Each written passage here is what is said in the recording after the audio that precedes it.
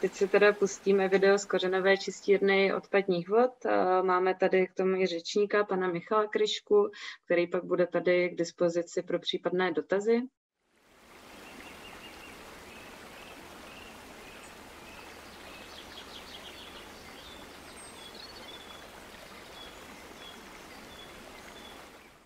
Dobrý den, nacházíme se v obci Dražovice, která se vyskytuje mezi Vyškovem a Brnem. Obec Dražovice má přibližně 940 obyvatel a jsme zde proto, aby jsme si ukázali, jakým způsobem se dá řešit čištění odpadních vod pomocí kořenové čistírny.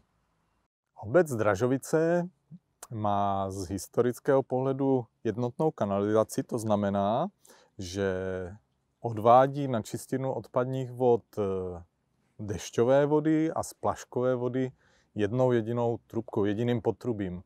Mm, nyní už se nacházíme na, v areálu čistírny odpadních vod, kde první takový objekt je tady toto, co je vedle nás, to je odlehčovací komora, která má za úkol odstranit nebo oddělit ty největší nebezpečné průtoky za dešťových situací a má za úkol je oddělit tak, aby ta čistírna sama o sobě mohla fungovat bezproblémově, aby to nezatěžovalo, aby to nevyplavovalo. Navazující objekt, respektive veškeré, veškeré komponenty z té čistírny, co jsou zde za mnou vidět, tak eh, nesouvisí tak přímo s eh, čistícím procesem, ale my jsme zde společně s několika výzkumnými organizacemi Eh, udělali vlastně z čistírny Dražovické jakýsi pilotní projekt, na kterém jsme si vyzkoušeli a učili jsme se a testovali jsme nové technologie, nové materiály, nové uspořádání, tak, aby ta čistírna vlastně postupně nebo obecně, aby tady tyto čistírny měly vyšší účinnost, než je to běžné z historického pohledu. Čistírna odpadních vod byla postavená v roce 99 ve stejném roce byla kolaudovaná a uvedená do zkušebního provozu. Zkušební provoz trval rok, takže od roku 2000 v ostrém provozu, takže se nejedná o žádnou moderní čistírnu. Na druhou stranu se zde skloubily vlastně ty moderní technologie tím, že jsme na čistírně realizovali několik výzkumných úkolů, takže tato čistírna je zároveň natolik moderní, že v dnešní době vykazuje podstatě ve srovnání s ostatníma kořenovými čistírnama, vykazuje nejspíš nejlepší čistící účinnosti a nejlepší otokové parametry eh, široko daleko, možná jenom v, České, v rámci České republiky se dá považovat vlastně za tu nejlépe fungující. Veškeré objekty, které si tady na začátku teď ukážeme, tak eh, to jsou právě ty objekty, jsou to betonové bloky stavěné v tom 99. roce. Eh, po technologické stránce celá ta čistírna je koncipována tak, že na kořenové čistírně se většinou nic nehýbe, nejsou tam žádné elektrospotřebiče, nejsou tam žádná dmychadla, kompresory, elektromotory. Není tam nic ve srovnání s tou složitější technologií, kterou představují klasické čistírny založené na aktivačním procesu.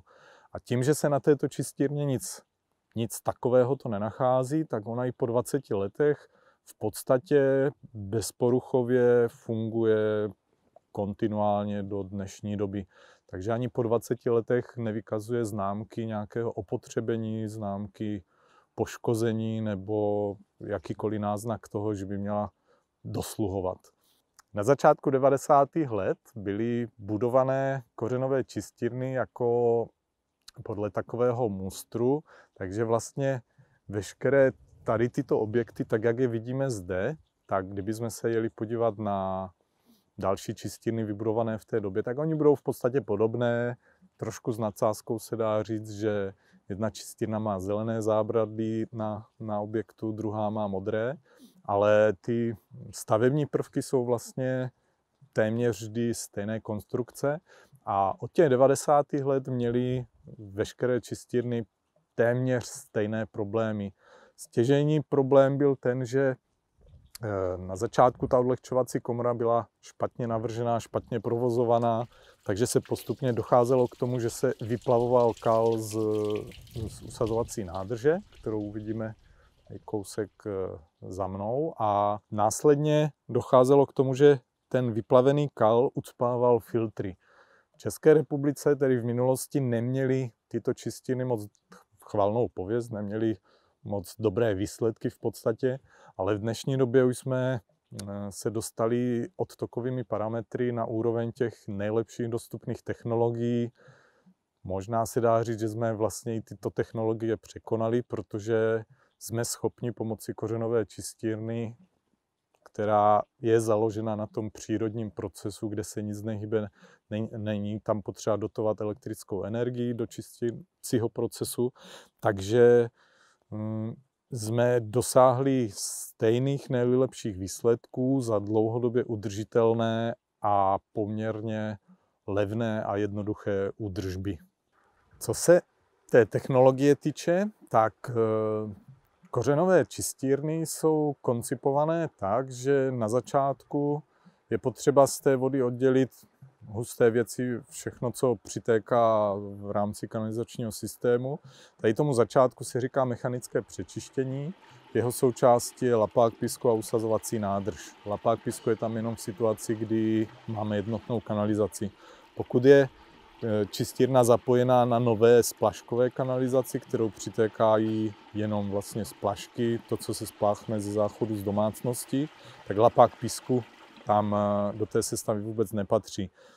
Tím pádem prvním objektem by byla usazovací nádrž, která má za úkol odseparovat, oddělit všechno tu je, všechno viditelné, co s tou vodou přitéká a pustit dál na ten hlavní stupeň čistící, který představují filtrační pole, tak pustit na tyto pole vlastně natolik vyčištěnou vodu, která nebude způsobovat provozní problémy.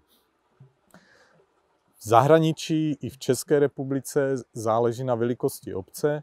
Dá se uvažovat eh, v té rovině, že místo usazovací nádrže se použije eh, vícekomorový septik nebo anaerobní separátor, což je vlastně obdoba řešení, které se dají uplatňovat pro jednotlivé domácnosti. Takže ten septik, když, když se jedná o obec, která má velikost 100 obyvatel, 200 obyvatel, tak eh, pro tuto obec se dá uvažovat s tím, že bude mít na začátku vícekomorový septik a za septikem přímo zapojené filtrační prostředí nebo filtry s vegetací, nebo kořenové filtry, jak se tomu v zahraničí často nazývá. Eh, tady vidíme, tady vidíme na začátku teda takové objekty, které, jak už jsem zmiňoval, tak nevyžadují připojení elektrické energie. Jedná se o ručně stírané česle a navazující horizontální lapák písku štěrbinový. Tento objekt musí být podle velikosti obce obsluhovaný tak často, že Obec, která má, dejme tomu, 100, 200, 300 obyvatel, vyžaduje, aby se česle s lapákem písku čistili přibližně eh, dvakrát týdně.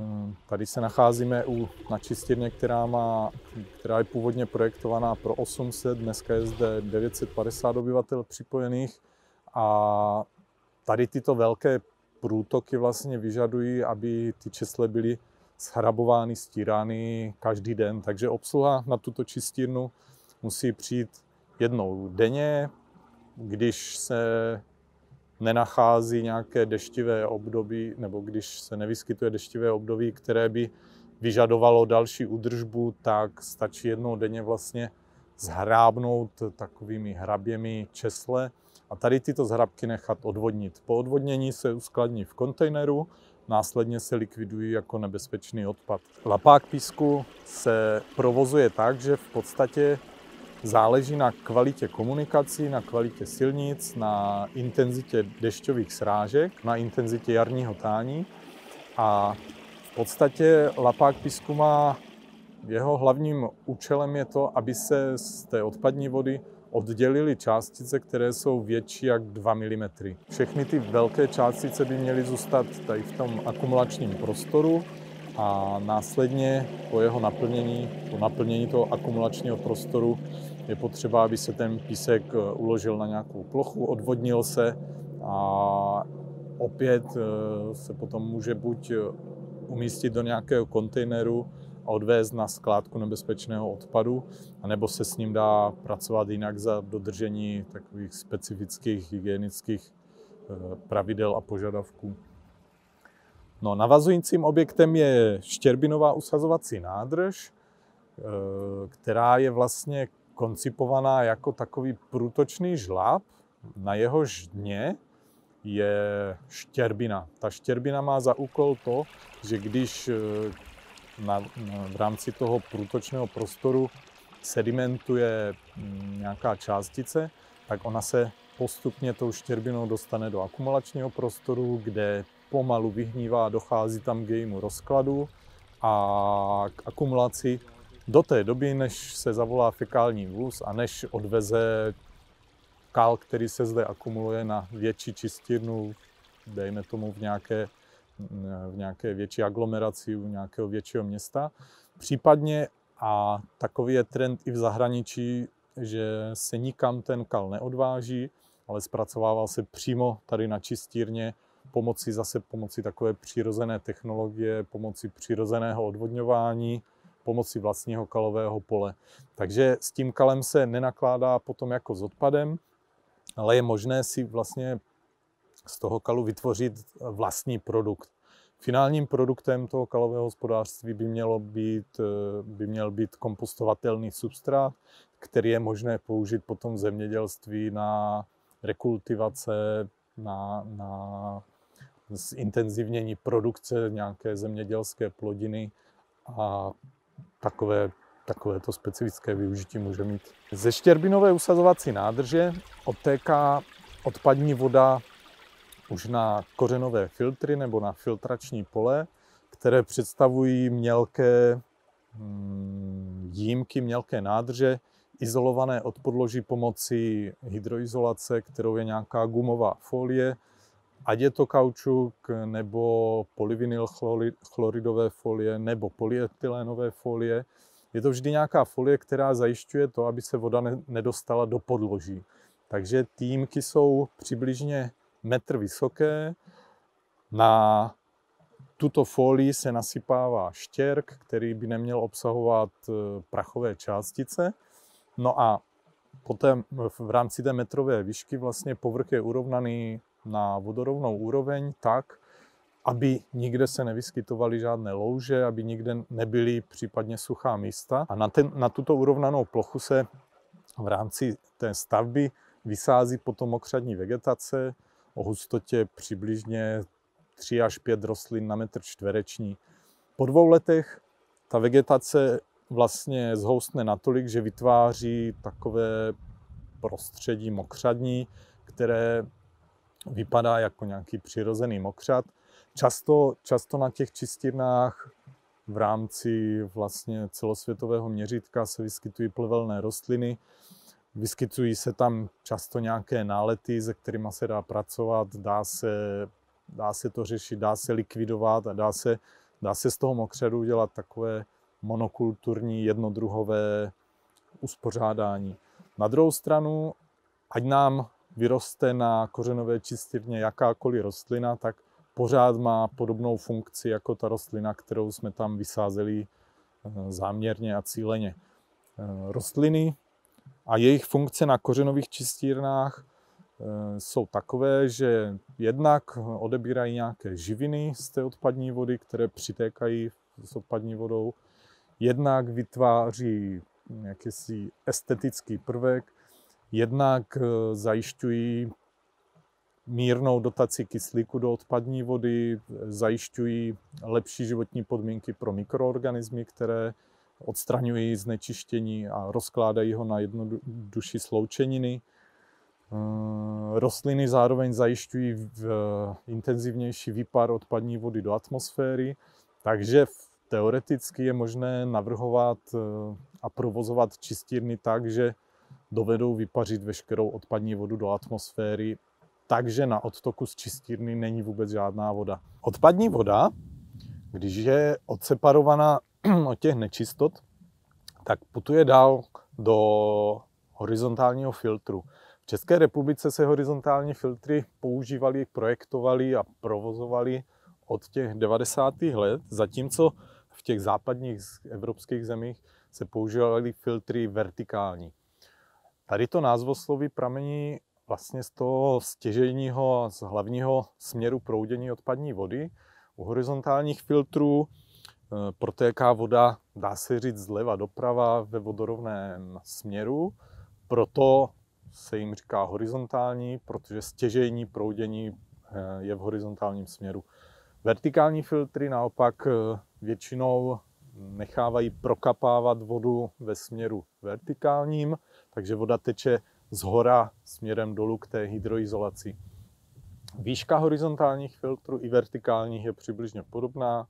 Liší se to uspořádáním distribučního potrubí a souvrstvím těch eh, filtračních materiálů. Horizontální filtry jsou většinou tvořené jedným jediným materiálem filtračním, vertikální filtry tím, že voda prokapává směrem dolů, tak jsou tvořeny přibližně čtyřmi vrstvami, které vlastně z této stavby z vertikálního filtru dělají složitější stavbu. Je to trošku složitější na realizaci, když se to musí postupně vrstvit. Zároveň na povrchu vertikálního filtru je soustava distribučního potrubí, před kterým je ještě distribuční šachta s vypouštěcím zařízením. Bez tady té šachty a bez toho vypouštěcího zařízení vertikální filtry nemůžou spolehlivě fungovat. Na druhou stranu, přes tady tyto složitosti jsou vertikální filtry mnohem účinnější, vykazují výrazně lepší čistící účinnosti a v parametrech, které jsou běžně sledované, což jsou parametry BSK, HSK, nerozpuštěné látky a amoniakální dusík, vykazují vertikální filtry eh, vlastně z pohledu technologického i ve srovnání s jinými technologiemi intenzivnějšími dosahují, dá se říct, téměř nejlepších hodnot dlouhodobě a udržitelně. V zahraničí eh, projektovali a provozovali tyto filtry již od začátku 90. let eh, dlouhodobě spolehlivě. Například v Rakousku je dneska přibližně 6 tisíc tady těch vertikálních filtrů a my jsme se v České republice vydali tou cestou, že jsme stavěli primárně ty filtry horizontální. Tím, že horizontální filtry mají nižší účinnost oproti vertikálním, tak jsme se v České republice dostali do takového stádia, že horizontální filtry, respektive kořenové čistírny, se postupně dostávaly do útlumu, postupně se na ně vytvářel takový pohled, že tyto filtry nefungují, že kořenové čistírny jsou nefungující zařízení, jsou eh, nespolehlivé a ve srovnání s konkurenčními technologiemi jsou ve všech eh, pohledech na tom vlastně mnohem hůř. Takže v České republice jednu dobu, to bylo možná přelom tisíciletí, tak eh, hrozilo, že se kořenové čistírny téměř zakážou realizovat, zakážou se jako nevhodná technologie v České republice. Nicméně nám se povedlo v rámci několika výzkumných úkolů, které jsme měli podpořeny grantovými agenturami, tak se nám podařilo objasnit vlastně ty zásadní rozdíly mezi horizontálníma a vertikálníma filtrama. Povedlo se nám odhalit takové technologické problémy vedoucí k tomu, proč vlastně ty kořenové čistírny v České republice nefungují. A dneska už to, co tady vidíme v otokové části, tak eh, vlastně to zapojení vertikálních filtrů dělá z této technologie natolik spolehlivé zařízení, že dnes už jsou poměrně často zastoupené vertikální filtry v rámci toho technologického spektra. Zmiňoval jsem Rakousko. V Rakousku je eh, tady toto procentuální zastoupení přibližně 30% vertikálních filtrů z vegetací, zbytek jsou technologie založené právě na tom intenzivním čisticím procesu za podpory elektrické energie. Odtok z vertikálního filtru, jak sami vidíme, tak eh, odpadní voda, která proteče vertikálním filtrem, tak vlastně proteče přibližně půlmetrovou vrstvou toho hlavního filtračního materiálu, kterým je praný písek.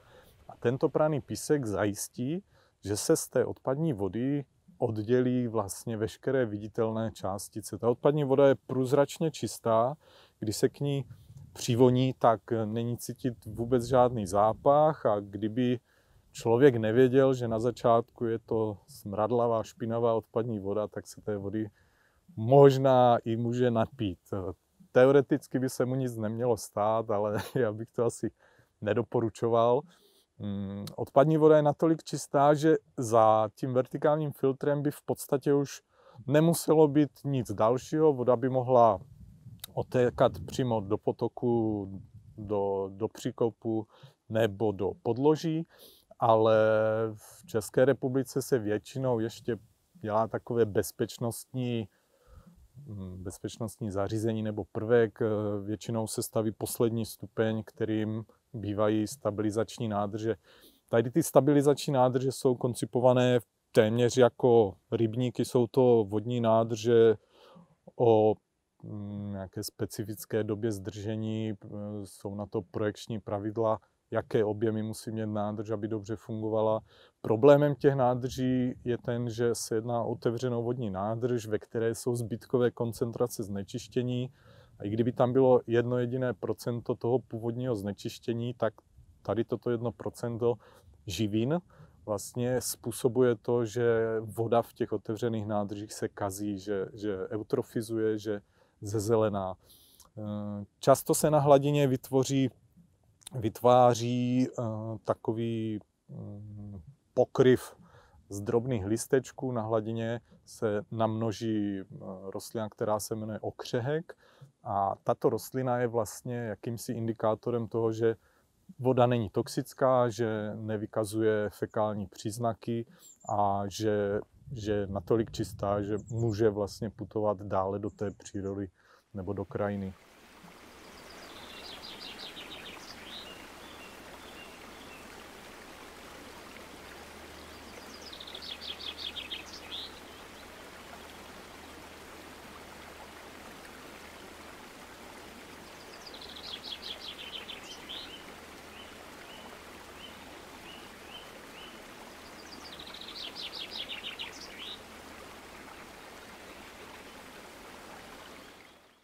Jak se likviduje nebezpečný odpad. Vy jste na to nějak tam dokonce i odpovídal. Rusky, ano.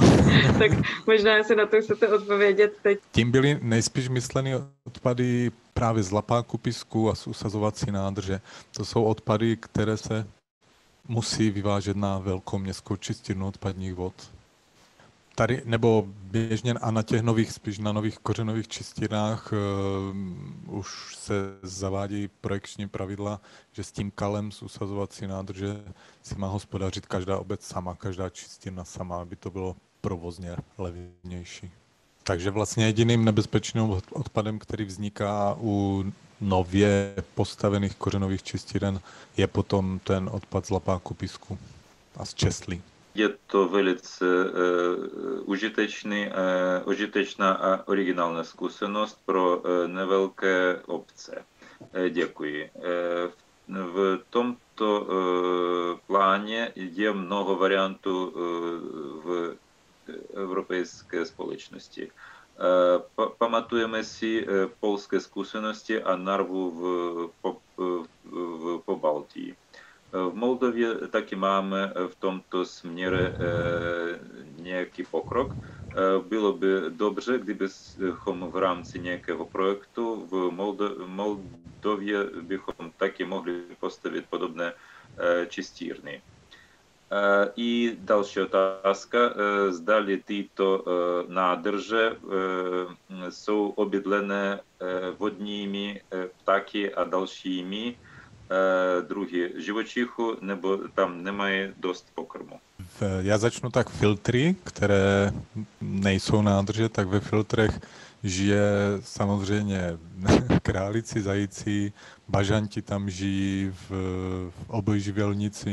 A na těch nádržích samotných, tím, že tam není toxická voda, tak zrovna tady na té čistírně v Dražovicích rybáři vysadili i kapry a běžně tam žijí ondatry. Tady na té. Takže ta voda je zdravá. Ona je v podstatě čistější než eh, voda, která teče potom potokem, takže tam není problém. Je tím myšlena asi skládka, jestli skládku. to teda ano, jako odstraň, odstraňuje prostě v těch dalších, v těch větších čistírnách, nebo se to vyváží na skládku. Jo, jo, oni jsou to, tady z těch malých čistíren jsou to takové malé množství, že skládka nebezpečných odpadů, vyšlo by to prostě provozně navíc peněz, než to odvízt do nejbližšího města a z toho potom dál na skládku nebezpečného odpadu. Ono se jedna, nebo u toho lapáku pisku, tam je vlastně taková, taková ta plastová popelnice, ta úzká uh, plastová popelnice, která se jenom několikrát ročně převáží. Tady u těch Dražovic to je asi 8 kilometrů daleko. Zdali podobné čistírny je možné eh, používat pro krupné, pro velké obci, nebo jejich provozní účinnost klesá při zvětšení obsahu. Mm-hmm. Co se té účinnosti týče, tak vlastně tento typ čistíren funguje úplně stejně pro pět obyvatel, 50, 500 a kdyby 5000, tak. Takže účinnost je tam pořád stejná, ale mm, nevýhoda, asi jediná vlastně z těch největších nevýhod této technologie je plošná náročnost. A když se budeme bavit o tom areálu čistírny, kde jsou veškeré objekty, v, když si to představíme vlastně jako oplocený, oplocenou stavbu, tak vychází průměrně 10 až 12 metrů čtverečních na jednoho obyvatele. Takže tam je to potom na zvážení, jestli je to výhodné pro velké město nebo není. Takže pokud jsou v podstatě nevyužité pozemky a jsou k dispozici mm, pro nějaký, nebo nejsou k dispozici vlastně pro žádný účel, tak eh, na tu kořenovou čistinu se možná hodí. Hodí, nebo mohly by se hodit tak. Akorát v České, možná ještě v České republice, máme nej, nebo měli jsme největší čistinu pro 1600 obyvatel a větší nemáme, protože ty větší už jsou postupně rozebrané těma složitějšíma technologiemi, které, které přišly dřív na trh. A zmiňoval jsem Rakousko jako inspiraci pro nás. V Rakousku mají největší kořen, mají jich sice 6 tisíc, ale ta největší je pro 350 obyvatel. A z, v podstatě ze stejného důvodu. Nejdřív byly aktivační čistírny nebo mechanicko-biologické čistírny a potom teprve tady tyto. Teď vidím v chatu nějaké číslo 100 tisíc. Takže jeden kilometr čtvorcový na 100 tisíc e, obyvatelů. Teoreticky to je možné, ale po praktické stránce asi kilometr čtvereční čistírny. Jestli jste měli někdy uh, třeba v průběhu problém s koncentracemi dusíku a fosforu, protože já jsem slyšela, že třeba hlavně jako v zimním období to může být problematické. Kterou látkou začít? Fosforem začnu. Uh, my jsme v předchozí přednášce viděli, že technologie na odstraňování fosforu je u, já jsem si zapsal, 60, 67 čistíren v České republice. Ono samotnými biologickými procesy je možné část fosforu odstranit, ale, ale příroda si s tím neporadí v rámci té čistírny. Proto se přidává technologie na srážení fosforu a na odstraňování tím, nebudu to asi není potřeba to rozebírat. E, proto se přidává technologie na odstraňování fosforu. No, ale kořenové čistírny, tím, že ta největší je do tisíc, nebo pro 1600 obyvatel, tak je v té kategorii, kdy ještě není potřeba srážet fosfor. Takže dnes nemáme ani jednu kořenovou čistinu, která by srážela fosfor, ale i tak je účinnost v odstraňování fosforu někde mezi 50 no, možná 40-60%, tak kolem těch 50 se to pohybuje. A co se týče toho eh, amoniaku nebo dusíku, právě v České republice byl problémem od 90. let do roku možná 2010 amoniakální dusík, nebo amoniak. A bylo to proto, že my jsme měli jenom horizontálně protékané kořenové čistírny tady. Zatímco zpátky k Rakousku, v Rakousku nemají problém s amoniakem, protože používají vertikální filtry. No a my tím, že jdeme teď vlastně po stopě nebo uh, inspirujeme se tím Rakouskem, tak postupně už i ten amoniak dovedeme řešit. Co se účinnosti odstranění amoniaku týče, tak zimní období snižuje účinnost možná na 80%.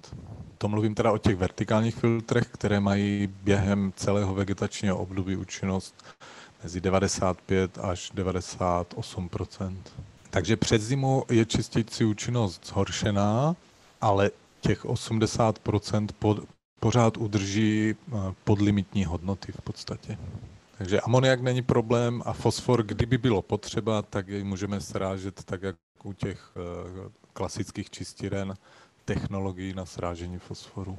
Eh, kolik stojí takové čistírny na 5000 obyvatel?